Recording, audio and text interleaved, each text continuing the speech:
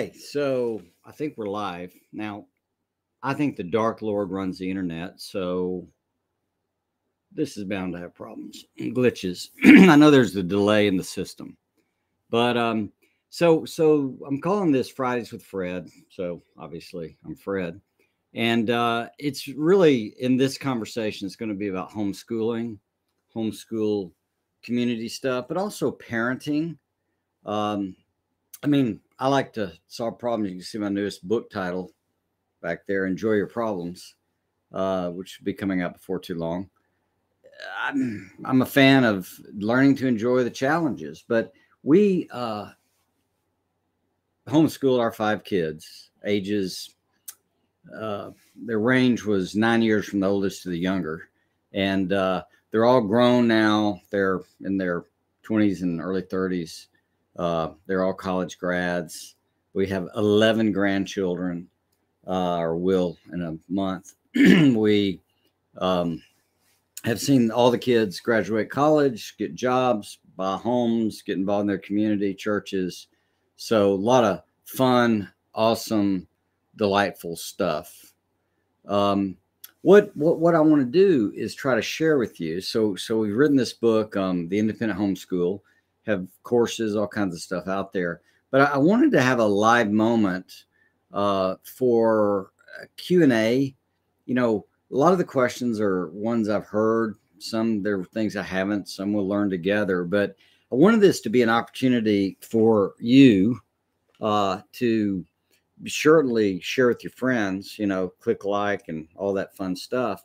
But but specifically, what we're aiming for is to um, advance the cause, to kind of uh, get this thing in motion, to help you grow um, as uh, a mom, dad, homeschool family, uh, to educate your kids well, prepare them, as we like to say. Uh, the goal is to raise happy adults. Uh, if they're happy kids, that's a bonus, but we're trying to get them ready for adulthood. So, so the way this is going to work, I'm going to, I, I want to teach or mention some things, kind of walk through a few thoughts, and then um, uh, hopefully, I know there's a delay in the system, but if you'll write comments uh, there or questions in particular, uh, I think I can answer them. That would be the the the the hope, or you know, give you my thoughts, and uh, maybe some of the comments will have um, some help too. So we're gonna learn how this goes. But uh, welcome to uh, uh, Fridays with Fred and uh, I really, uh, really hope you find this helpful. So, so let me begin by sharing with you. Um, uh, there are three things I have down here I want to talk about. One is about human nature. So, so this is a big deal, and especially uh, having 11 grandchildren, I'm getting, I'm refreshed in all of this. So the oldest is six years old, down to about to be born, and so in this game, I'm reminded as I interact with these uh, little kids um, uh, how human nature really works and how prone we are to miss that fact, to literally miss the idea of uh, issues related to. I'm trying to find. I apologize. Engagement on Facebook group. Invite your audience. Yeah, I hope this is all working. So new comments should display. So if you have homeschool questions, add them. But let's talk about human nature. So so if you don't understand this, you'll really miss out on how to parent well, how to develop your school, etc. Because if you if you think things work a certain way, um, then then you'll treat them in a certain way. For example, if you thought furniture could walk at night, you'd probably be prone to tie it down. Um, there are people who think furniture can get stolen at night, so they do tie it or chain it down, uh, you know, in outdoor settings, uh, that kind of thing. But what you're wanting to really wrestle with with human nature is that uh, what's going on in these little creatures is probably not what you think. Pardon my voice, I'm allergic and catching on. So, um, what what what we tend to think is they're going through phases. Um, you know, they have their own little unique uh, personalities.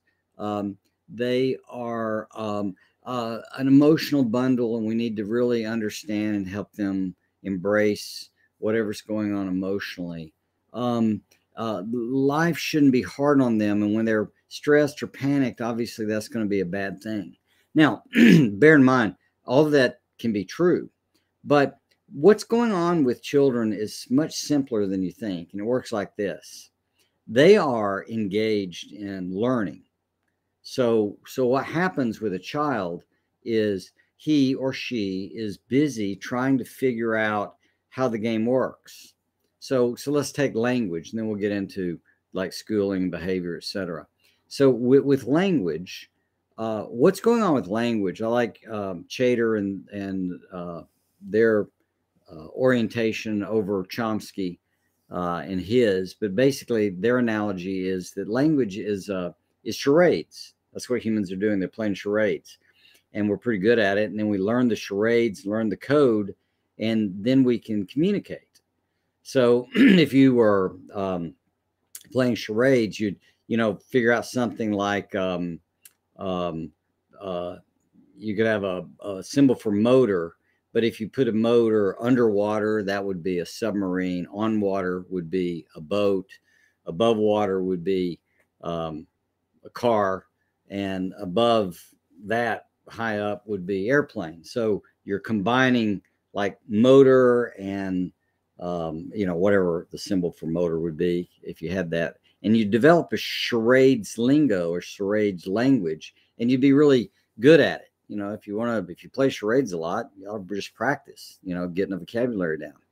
Well, humans are the same way, except we're doing it with verbally with words, and these words mean things, but it's a charades game. And if you think about it, think about your children and how they learn to talk. So, so what happens is they'll they'll say stuff. We I was doing it with my grandson this weekend.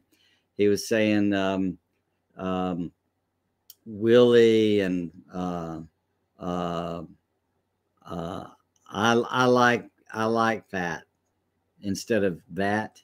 And so I taught him. I said, "Look, you bite your tongue instead of you know that." And he'd bite his tongue and go that, and it was great. We did another one with R's or something like that. So I gave him some feedback, and he learns it. Well, it's also they're learning words. So they say milk, you know, or they they, they say uh, banana, and you hand them a banana, and they go no, and finally they go milk. And what's happening is there's a feedback loop going on where you're teaching them exactly how this game works. And they're learning that milk the phrase milk means milk. And and then they then they learn like like their accent. They sound like from the northeast or from california or from texas or from alabama. And so all these things are in a constant reward game and that's it there's an internal drive in the child to want something and then there's a game and the game is um, if you play right uh, you win and if you play wrong you get penalized and you can do it consciously or unconsciously. But the fact that you didn't give them milk is a penalty when they wanted it. So this is actually the game. It's called learning. And, and what's happening with any of these behaviors, whether it's doing their math or writing or uh, figuring out how to be obedient, uh, how to control their emotions, how to process things, anything like that, every bit of it uh, is a learning process for these kids. And so, what is actually happening in uh, their life and yours can be addressed this way. Um, when you see behavior you don't like, look at your child and utter these magic words to yourself. How did I teach you to, and then fill in the blank? If they're given to um, having fits, you know, having tantrums, you need to ask, how did I teach you to have a tantrum? Because I promise you, you've taught them how.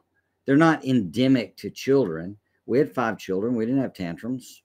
I mean, they got upset when they were young or something, but we'd let them go in their room and say, regroup. Um, we don't want to bother the whole family with this one. You got to learn to process your own emotions, your own stuff. Will we help them? Sure. If they need debriefing, etc. But honestly, uh, a lot of that was they would misbehave and they would freak out. And when they'd freak out, uh, if we run in and give them what they want, we just train them to be upset. So um, that's the game on human nature, and and with human nature, unfortunately, all this is coming through. So this is quite exciting uh, to see Q and A, and I'll get to them in a moment as you can see them. So understand that thing about learning that with any subject, topic, behavior pattern, etc., human beings are designed to learn. And what you're trying to do is set up the environment so they're encouraged to do what you want and discouraged to do the rest. That is the game. That's how it works. And it's going to work that way all through life, whether they're in jobs or school or um, uh, married or whatever happens. so, so there's the first point. Um, what I'll do is, um, well, let me just mention these other two points real quick. So, the, the second point I want to invite you to think about is the importance of process over goals. So, a goal is great, uh, but what I've found is that the plan is mightier than the goal. If you have a plan that won't take you where you want, it won't matter. And, and if you look at people like professional golfers, they want to win the Masters, but that's not what they focus on. They focus on their process every day, hitting number of balls, chip shots, putting, uh, their conditioning, their exercise, their diet, whatever it is.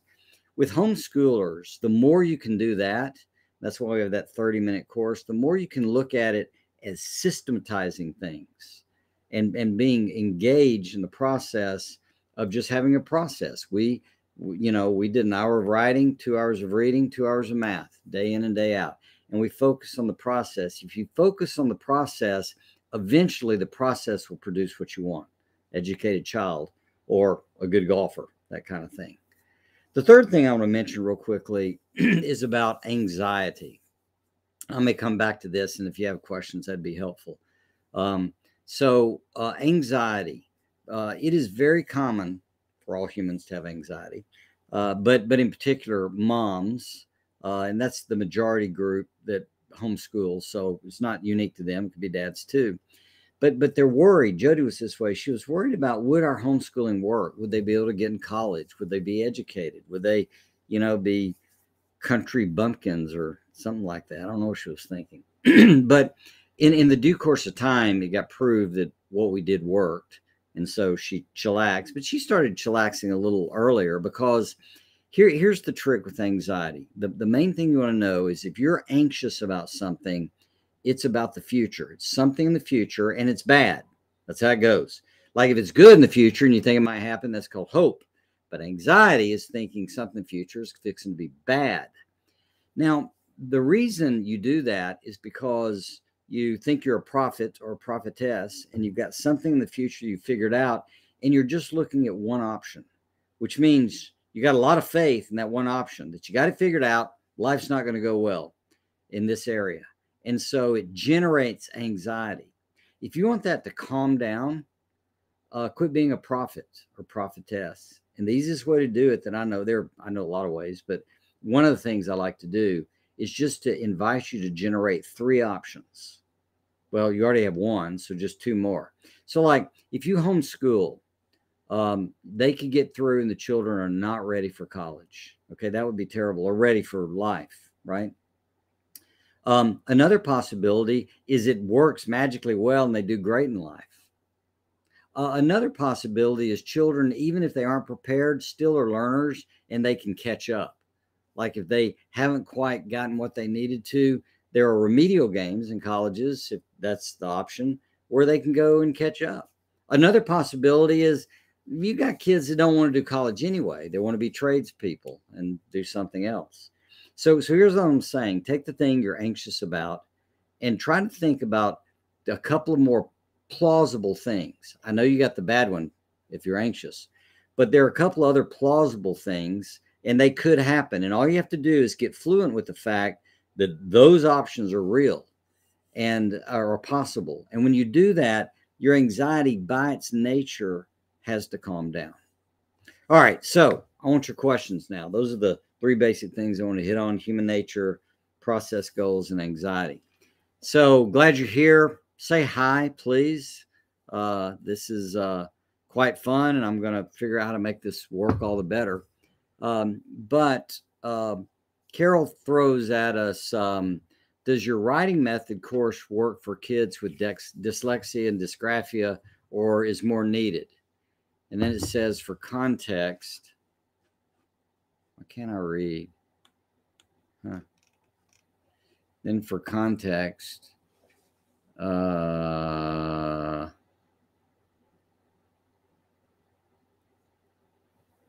I'm working on it. For context, my dyslexic, dysgraphic teen son has become a great reader, but writing is tough. Great. So, um, so oddly enough, our writing uh, course, um, the uh, feedback we've gotten, especially from dyslexics and and even on spectrum, people on spectrum, has been phenomenal. I mean, it's kind of shocking. I didn't even know for a while what was going on. but as I looked at it, I began to make sense of it. Now, dysgraphia is its own issue. Okay. So that's a little bit different challenge, and maybe typing works well, or maybe practice, you know, with letters works well, or maybe dictating uh, uh, to mom works well. I don't know. Uh, you know, it depends on what the game is. But with dyslexia and other learning type disabilities, what we found is that because the writing course is designed to learn to write by ear, so we're teaching them how to punctuate by how they want it to sound when read aloud. Uh, we teach them about um, how they aren't their uh, paper, they aren't their book, they aren't. Uh, it's the principle of separation. We, we teach them about language, how you can't really know what you're going to say before you say it, and why it works that way we teach them about correct writing versus um, effective writing uh, type things. Um, we we uh, walk through a lot of stuff that is about mechanics and practice, but most of all, we're helping the child to get out of their head. So uh, our big premise is you want to teach a child to write uh, okay, get help, and then make it great. That's the game. You write okay, get help, make it great. And when they start practicing this and go through the exercises we give them, most children will catch on and get it out of their head. So what actually starts happening is they're not stressed. That's what shuts them down. That anxiety. It'll sound stupid. I won't do it right. I don't know what I'm doing. You know, dyslexia has always been described as smart, uh, but feeling dumb. Uh, Jody has dyslexia, and so this is something we've obviously worked with a long time. She has a master's degree in education, so don't doesn't stop anything. It's just a challenge about how things are processed. So um, it does work, and it looks like it works specifically because it allows the child to get engaged in writing instead of thinking about writing. And most curriculum out there are busy about thinking about writing, getting it correct, and doing it wrong and doing it right and we're really focused on them finding their voice and learning to play with language so they can discover and learn how it really uh, how it really works. So I hope that was uh, a fair answer. Let's see. I think Carol adds something. Um, get down here. Uh, he is taking your writing course now. Oh, and loves it so far. Well, that's fun to hear. It takes a lot of stress away, and that's great. So there, that's exactly what I'm saying. Uh, he's going to college in the fall, and we are trying to somewhere. We're trying to uh, get him ready. Well, that's the thing to do. Have him write every day. Have him go through the course. After he's through the course, start writing every day. Give him feedback. Be sure and watch that um, video where I show with the red pen and the, and the green pen exactly how to give feedback so that he is getting a good feedback training so he can learn all the more about writing. But um, that's great that he loves it and great that he's de-stressed. And that's the key. You know, it's weird. Anxiety, like if we solve our problems, we wouldn't be anxious.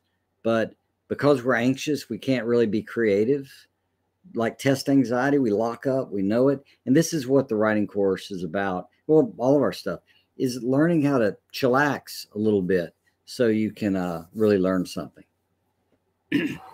um, so let's see. Is the writing course a monthly subscription? It is not. it's a it's a lifetime game.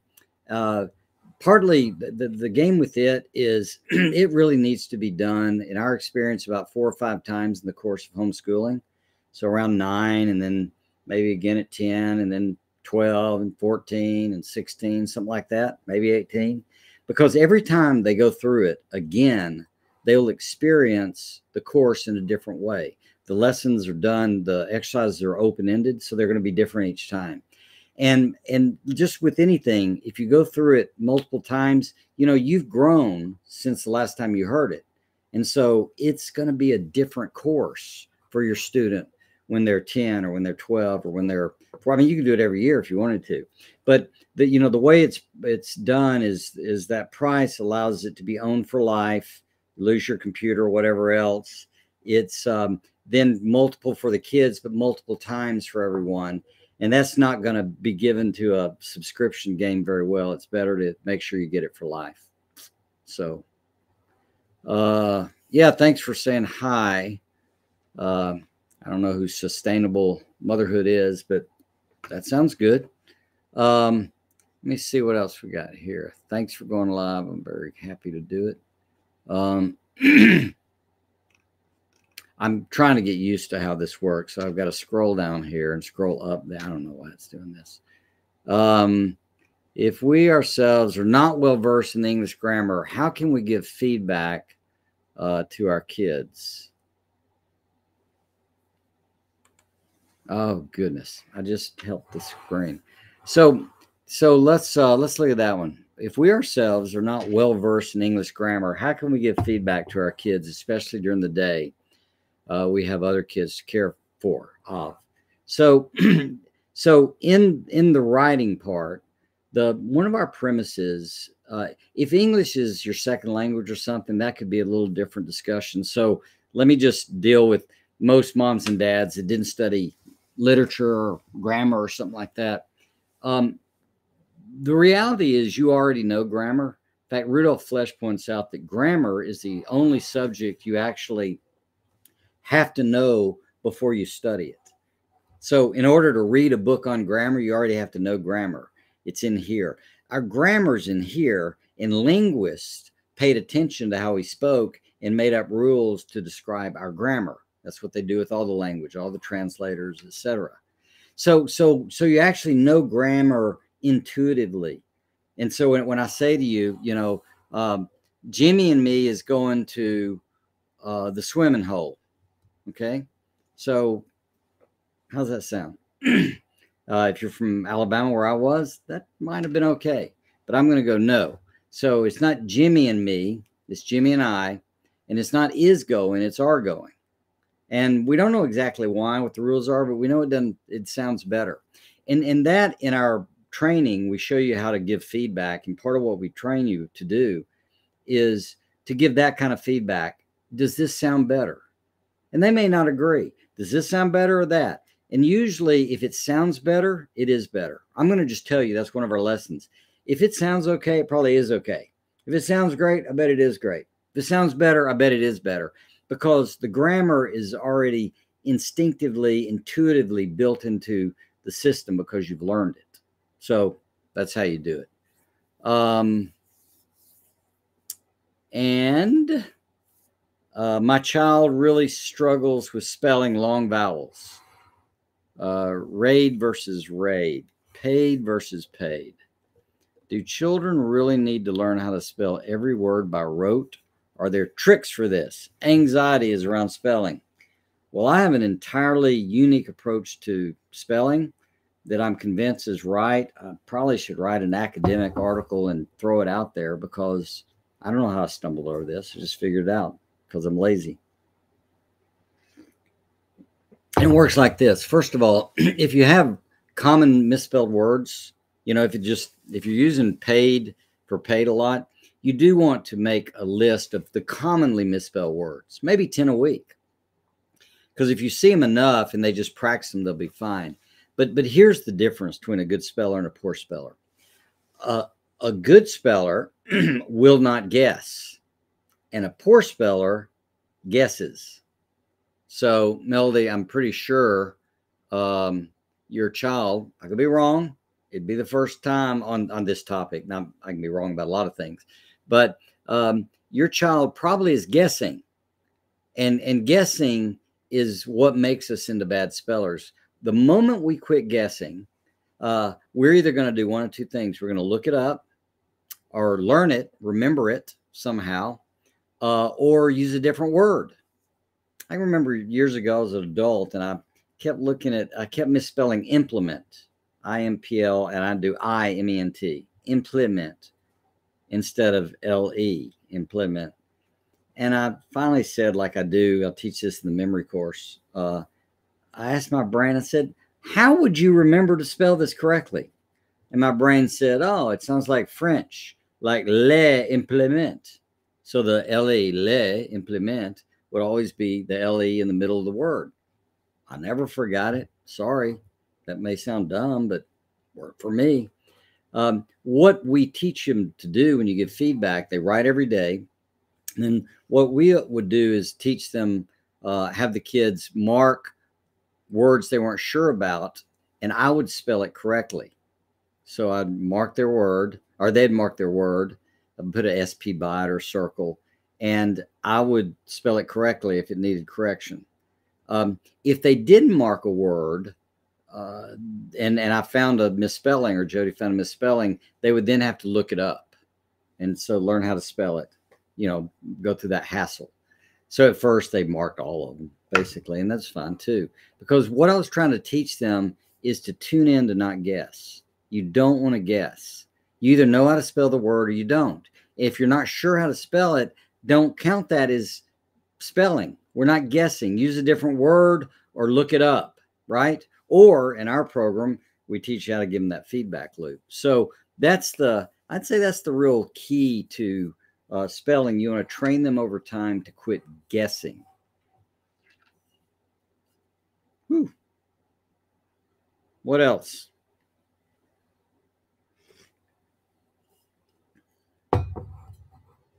I can tell you this looking at our kids. I mean, my kids have written in total nine books, I think, in combination. Um, so I'm one ahead. Uh, it's not a competition, but what I am fooling with is um, they got out and uh, wound up. Two of them taught at the uh, reading center at the University of Texas in Austin, or the Writing Center, not the Reading Center. And in the Writing Center, um, the kids told me, said, you know, basically what we've learned, especially because they're helping people with English as their second language, uh, foreign, you know, students that have come from overseas, etc. And so what they're what they're doing, what they're actually doing, uh, they said, is what you taught us. So we found that if we'd help them think about how it sounds and start tuning into the sound of it instead of trying to remember the exact rules, everything changes. Just like we do with punctuation. When you teach a child uh, that a comma means pause, and then they read it aloud with and without commas in it, you can just try that. Uh, it suddenly makes sense. You know, it's suddenly uh, uh a great thing. I just posted a little thing a few days ago about this uh, um, Jane. Um, enjoys cooking her family and her dog. It had no commas in it. Whereas if you put the commas in, Jane enjoys cooking her family and her dog. In fact, I say if you can say comma and it fits, it probably below a comma belongs there. Jane enjoys cooking, comma, her family, comma, and her dog. So there's uh, you know, there's part of the game, uh, in indeed. Um, this is great. I love your methods because they're focused on taking stress out of learning. Yeah, and and and not only stress out of learning, but really returning excitement because you know learning is a dopamine hit. It's a jazzer when you make sense of something. You go, oh, I get it, and so there's no reason that this isn't uh, isn't happening. So it's both. Let's diminish the stress and then let's build the confidence because, as Emerson said the greater part of confidence is having done it before. And so the more we can get them to do it, better they get. I can remember in high school, 500 word essay. Uh, junior and junior. in high school. Oh, we're dying. The weekend's ruined. 500 words. I can write 500 words in, uh, I don't know, a few minutes, a couple minutes. Uh, but I've been doing it a long time. So it's a skill that we have to develop. And once you get there and you know, hey, I can write more words, it's magical. Of course, now with Chat GPT, eh, you don't need anything. Just tell the computer what to write. Forget that. Um, I've recently started this with my seventh grader. Whoops. Restarted this with my seventh grader. It works. Exclamation mark. Mine was a guesser for sure. Oh, talking about the uh, spelling. Excellent. We started having our kids write letters to friends. Yeah, that's super. And grandparents. Jody always liked to get the kids to write letters to grandparents, great grandparents.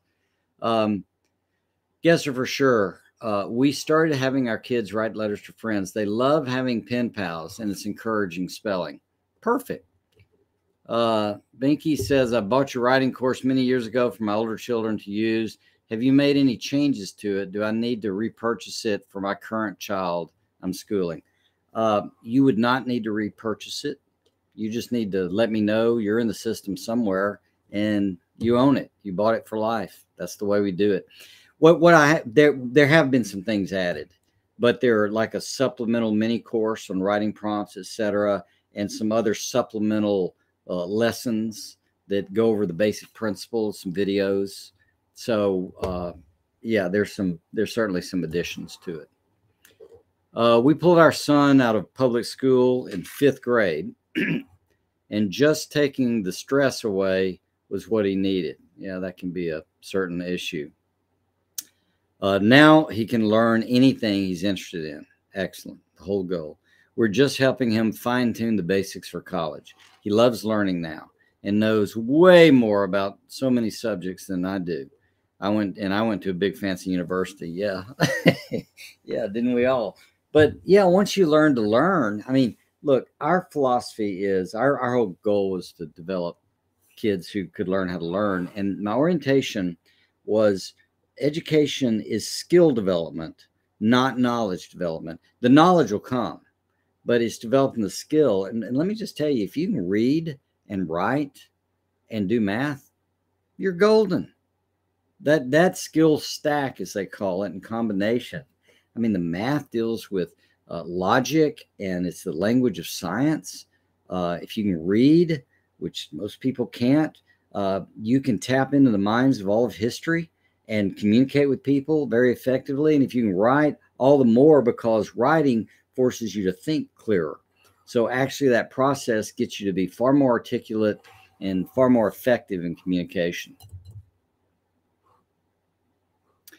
Writing is our four kids' weakness. So next year we'll be getting your writing program. Uh, great. Uh, why wait? You know, why not start this summer. Uh, they probably need to keep their brains fresh with reading, writing, just get in motion. I mean, in our program, once you go through it, we just want them writing a page a day. You know, when they get older, more pages, but just a page every other line and get a little feedback. All of our kids got busy writing long stories just every day that add on a story, add on to the story because we weren't big about uh, writing essays until 14. I have some literature out there about that until they get older. Um, so just having the fun of learning to write and put their stories on paper and getting their imagination to flare was uh, was quite cool. yes, I, I, don't like to take summers completely off. Um, you can, but you know it was invented because we're agrarian society. Go back, help the farm, whatever. Um, uh, when you're an adult, you don't take summers off from learning, do you? You know, and we found in homeschool that allowed us to chill out the pace. And so if we had breaks or other things to do, we weren't pushed. We also found this when you take a break in math from the spring to the fall, um, that the you forget a lot. You really get out of practice on math pretty quickly. in fact, if you'll notice, math books commonly about a third, a fourth, or a third of the math book, uh, the next section is a repeat of the last book, largely because of this phenomenon, because they've just forgotten. Um, so you know, you have your own life. You figure out how you want to. But we we found continuing in the summers was smart.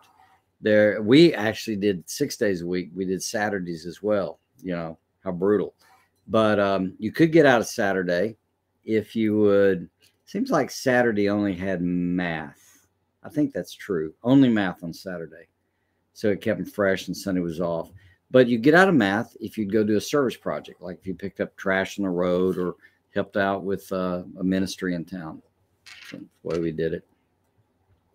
Um, so let's see. Uh, Kelly says, How do you handle a child who cannot acknowledge their mistakes? Ah, very defensive. I just love this question. The short cut is to get our emotions course and go through it with them so they can learn to run their emotions, run their brain, run their emotions. But but the defensiveness is something to do with um you know being in trouble, being wrong, probably uh in the direction of a fixed mindset. Uh, we accidentally do it to our kids. I did by praising them too much and giving them the idea they can do everything perfect sometimes really bright kids, everything kind of comes easy. And so they're hard on themselves if they make mistakes. Um, Proverbs 12 3 talks about if you can't receive correction, you're stupid. And I would argue, and it'll keep you stupid. So, so, so the trick, at, at least I'll say in the writing part, is what we're looking at is we're trying to write something that's okay and get some help and just make it better. So trying to communicate that this isn't bad, this isn't a bad good thing. It's a it's a better. It's it's emotion to get better. And especially when they learn not to identify with their own writing. What what we found is this defensiveness tends to go away when when you're playing this game, especially when like with the green pen, you're marking, I really like this. And the red pen means this might could be said a little better. So the feedback is more complete. Usually, when kids are defensive, all they're hearing is the bad and defend themselves, and something bad's going to happen. And so you're trying to play with them to learn how to be open to making things better. That's the whole goal. And that's why you say, you strictly say, does this sound better if you do it this way? And if they say no, go on. What do you care? You know, just keep with it because in time they'll learn to feel much more safe. Um, I, I yeah, I think that's the crux of defensiveness, but it's something they need to learn, you know, to chill out on the perfection, to work from okay, get help, make it great. Everything's well, one of the phrases I taught when I taught high school, and I found they still have around the high school all these years later, is look, everything's hard before it's easy, but it's easy once you know how. So a defensive child probably doesn't understand yet that, yeah, this is hard. This is how it's going to go. Um, do you have a recommendation for a fast way to learn enough math basics to be college ready? Our son is great in math, but he feels like he's bad at it, so he avoids it. His dysgraphia makes it hard. I'm sorry, I'm thinking while I'm watching this. His dysgraphia makes it hard to take notes while doing math. He tries to do it all in his head. Of course, we let him use calculator, but he still avoids math, probably due to bad memories from public school. Yeah, so great question. Um, I'm going to quote Emerson again. The greater part of courage, courage is having done it before, right? The greater part of courage is having done it before. So he needs to build confidence. He's not going to do it with a calculator and he's not going to do it in, in his head. You've got to show your work. That way you can find out where the problem was. What what I would do is I would go back in his books. I mean, if you were my son, I would go, and I've done this with a lot of people. I'd go back in the book and I'd find uh, I, I don't know where we're talking about. So I'd go back algebra two, go back algebra one, whatever it is, and find an area where he can pretty much do the problems. And then I'd go a little further until I find out where it's sort of a struggle. And I kind of begin there, maybe just before it. So we're building on his confidence. But what's got to be done, you got to do some problems every day and you got to show your work and you got to do it on paper. Uh, don't want a calculator because we want him to understand it. And and look, here's the trick. You you want him to really get a hundred on the number of problems. You want to figure out how many problems can he do, and I'll say an hour for starters, okay? And and maintain about a 90% or better. And and if he gets like a 50%, no big deal. Do the exact same set of problems the next day. And he'll get better. He should. And if you have to do it the third day, do it the third day. And then keep repeating that so that he really can learn that thing. When I studied Hebrew, the first assignment we had is we had to write the Hebrew alphabet 8,000 times or something. Why? Because they had a drum in our head because it doesn't look like anything. Aleph, Beit, Gimel, Dalet, all these things. You just have to learn it. Math's the same way. You're going to get confident once you can do it. But to do it, you got to do it. So that's just the way it works. But that's that's the game plan. And so every day I just say, how many problems can you reasonably get done? And your mistakes in math are always going to be either you don't understand it or they're careless. So you need to be careful with that. Count those careless ones. And uh, if they don't understand it, they need to go back and read the section and figure it out because that's how you build that confidence and knowledge in math. So, what else? We got 15, set aside an hour for this. And I know there's a delay in my system. You probably type something, I don't see it. But you look, questions about, you know, I talked about human nature, process, goals, anxiety a little bit. We talked about writing. I like all these subjects math, parenting, uh, anything that uh, is uh, in your mind or you struggle with, we can sure think about it uh, together. I will say, I will say this: if you just stay with it, you know, just like golf, just keep practicing putting, get a process down, just get better, just keep practicing the math, keep practicing writing. Uh, the reading, I, I, haven't mentioned this, but I, I think it's really important for the kids daily to debrief the reading to you, sort of a Charlotte Mason type thing. So what that means is get them to you or to each other when they got older. Um, tell a summary of what they read. You know, she was doing this, this happened, this happened, this happened. It's going to be some pieces and some story, and they can share it. So that creates a feedback loop where they're articulating it and they know it's coming, so they're accountable. So they're going to read a little more careful. And uh, you can do it at dinner, you can do it wherever you want to, but it works. I think, well, I think it's important um, I mean, you can take tests, you can do that too, but even just that amount of feedback where they narrate or tell back what they basically read that day is uh, is an important important thing.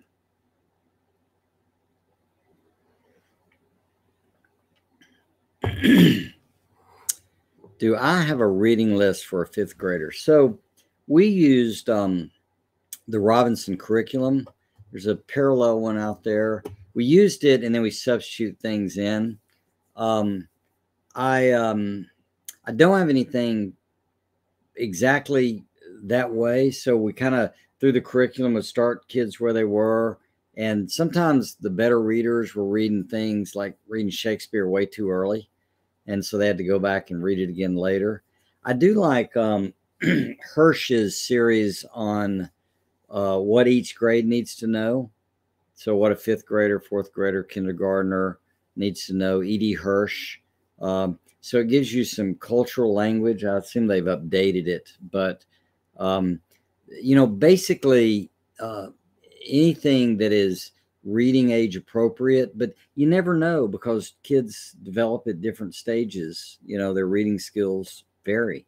So, I'd say you want to monitor that as well. I mean, you can get that list from Robinson. There are all kinds of lists out there. There's another A plus. I mean, you look for these things, um, or or post it, you know, on the website, and people will uh, let you know what you know they use. But in in going through any kind of list, you're still going to have to pace it uh, for the child's reading skill. You know, so If it's too advanced, it's too advanced. I mean, I read The Call of the Wild in fifth grade five times. I, maybe it was fifth and sixth. But guarantee you, I learned a lot by reading a book over and over. I just liked it. And so uh, there was language mastery and all kinds of things. A lot of times we rush ahead instead of slowing down a little bit because that's really what you're aiming for. You want them to get educated, and that's skill development. And sometimes skill development goes slower. You know, the engineers that struggle more in college are better engineers because they really have to learn the math. The real smart ones kind of blaze past it. Eh, I mean, computers help them out, etc. But they don't know it in the same way. That makes sense. Uh, yeah, debriefing will help your son's reading comprehension. It's a it's a big deal, and you might want to look up um, Charlotte Mason and and the idea of narration. This is what we do with the kids when they're younger. We read. Jody, in particular, would read for like ten minutes and then stop and call on one of them to basically tell back the story. So you're constantly learning how to do it. Our reading comprehension um, training is pretty unique in showing you how the elements and uh, the relationships fit things together and then how to move through time. So we're really teaching kids how to really look at a story and understand the logic of it before they're really developed well on logical abilities. So you might want to check that out if um, if you're interested. You know, the we we've changed to a subscription model for all those, so it's nine ninety five a month uh, quit anytime. But all, all those things are included the emotions course and the reading comprehension course, a problem solving course. For the math stuff, I'd go through that problem solving course because that's sort of the same game for sure. Uh, what a grader needs to know what publication year should we look into? The latest one, a grader. I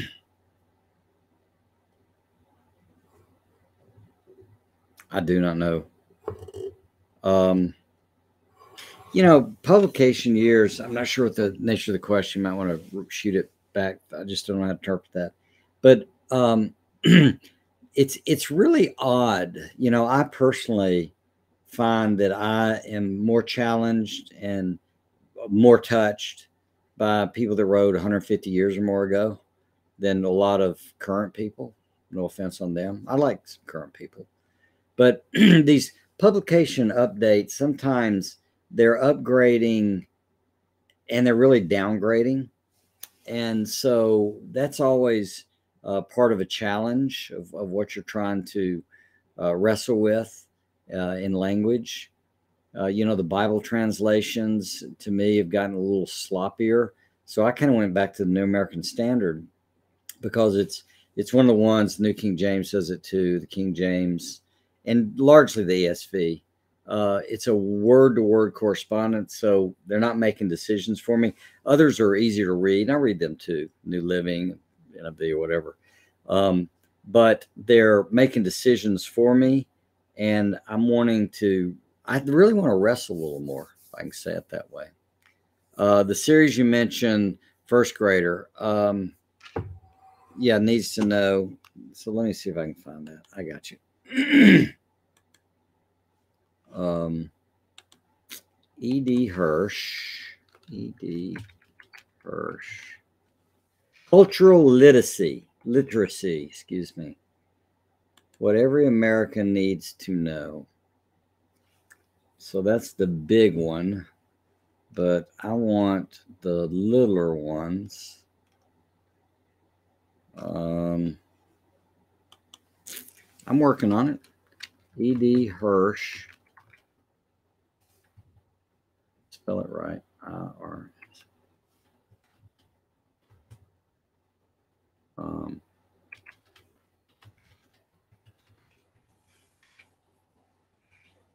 yeah, so yeah, here's an example.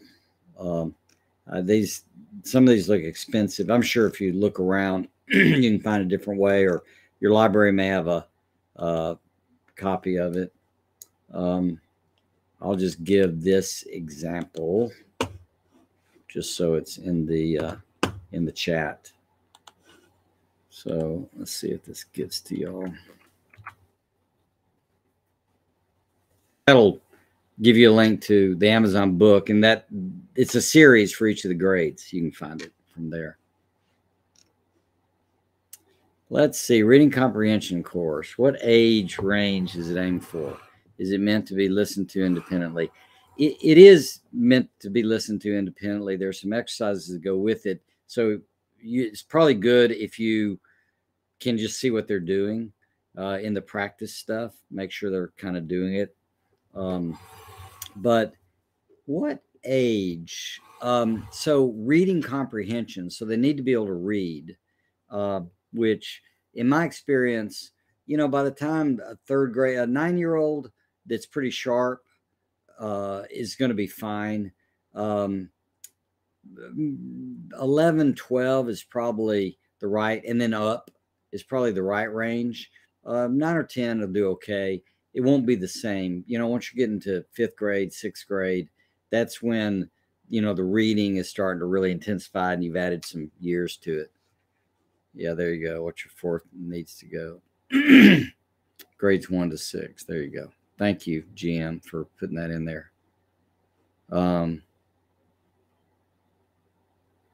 yeah, so uh, it can be done independently, but uh, that's the answer. It's uh, it's you know you you have to figure things for your own kids, and again, you know the way we like to do things with any course or anything. When you're listening to something, you hear something that sparks some thought, and you go off and think about it, and then by the time you come back, it's already skipped some stuff. So that's why the next time through, not only have you grown, you know, to match it, but you're also in that exact same process game, etc., where they are um, reviewing but introducing new stuff, even though it's material you've heard before, because of the nature of how humans focus and learn. So going through any program a number of times makes it way better, way better than one time through. All right. Any last questions?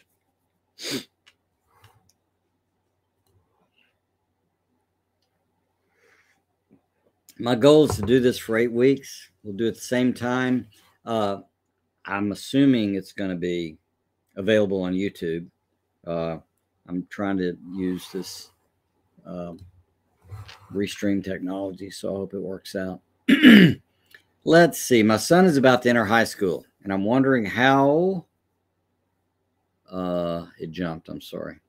My son is about to enter high school, and I'm wondering how far to take writing. He wants to go into engineering, and I want him to be proficient. Um,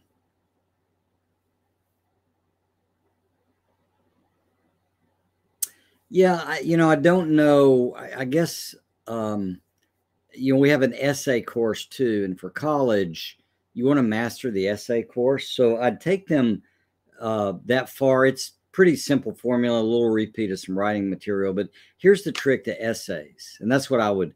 I'd take him. I'd have him write every day until he goes to college, just to continue to reinforce it. Uh, and and it'll be a great advantage for him in engineering because they're not notorious for great writing. Um, but with essay writing, here's the trick: what you want to do is work on an essay over weeks. It's going to take some time. And you want to just keep redoing it and improving it with illustrations in it and the right five paragraph structure, et cetera, et cetera, to where they get a perfect essay. Not perfect, perfect, but plenty good. You know, like, oh, the wedding was perfect, that kind of perfect. Oh, it's a perfect essay. So you, you get that essay really done over and over, and, and you got to let them know that's what we're doing so so that they really know what a good essay looks like. Once they know they can do one and what it looks like they'll be golden. Two of our children had their uh, freshman professors come to them after the first essay and said can i copy this and distribute it to the class? Because this is what we want it to look like. So i would say that's something you're aiming for. Um hey carol thank you. I'm glad this has been great uh, Melody, there's a book called ABCs and all their tricks. It might be helpful. Sounds good. Taught spelling, but consistent long term copy work alone has done that for me. I agree. And then Rena, thank you for sharing your time. You're so welcome. What are your recommendations for testing learning disability, specifically dysgraphia and NVLD? You know, I, am not a specialist on that. We did get one of our kids tested uh, at a learning center. Um, I think you're just going to want to um, follow what's called the wisdom of crowds. So you ask your friends and other people and try to find out in your area um, who's doing a good job of, of helping with that. So it might be a government group or might be a school or nearby college or could be anything. But uh, I would I would use that principle and search unique to the area. Uh, what would be helpful? So that's uh, that's the game. All right, I uh, have had really a delightful time. We'll do it again next Friday. Tell your friends. If you subscribe in YouTube, I think they send out notifications if you mention it to them. But we'll try to keep uh, people in touch. And uh, if the video is posted and you find it helpful, uh, put some comments and share it with your friends. Anyway, it's been great. Hope you all have an incredible, incredible weekend. God bless.